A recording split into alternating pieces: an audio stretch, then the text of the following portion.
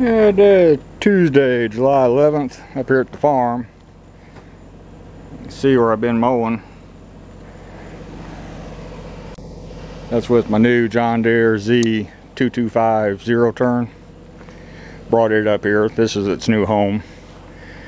And I moved some stuff around underneath the lean-to and got my John Deere 2030 and my Ford 335 industrial that's tagged to 3600 under a cover finally. So they're up underneath the lean-to. I hate having stuff out in the weather. Backhoe, I got no choice. It won't fit nowhere. But that's the only thing that's still under the weather. Out in the weather. I got some more cleaning up I gotta do up here. I just throwing stuff out the way so I can get my stuff under the lean-to.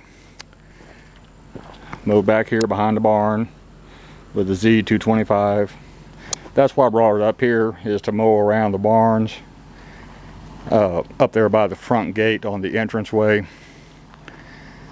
uh, by the travel trailer deck places like that.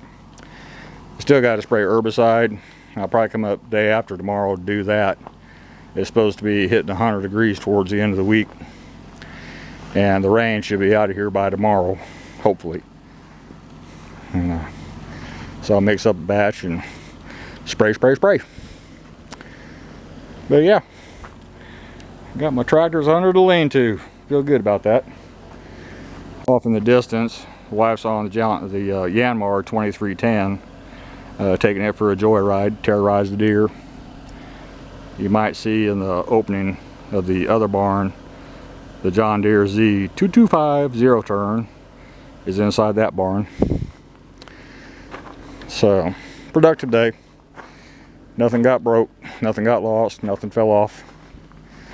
That mower it mows as good as a new one. That's a good one now. And uh, zero issues and I was mowing some tall tall stuff. Mowed right through it. Had to slow down of course but now the rest of it I can get with a six foot mower or my tow behind uh, on the major portion up there so had a plan, plan's working out. But I need to lock up my 10 foot trailer and load my ramps back up and be heading toward La Casa once wife gets done joyriding on the Yanmar. That's all for this one. Thank you.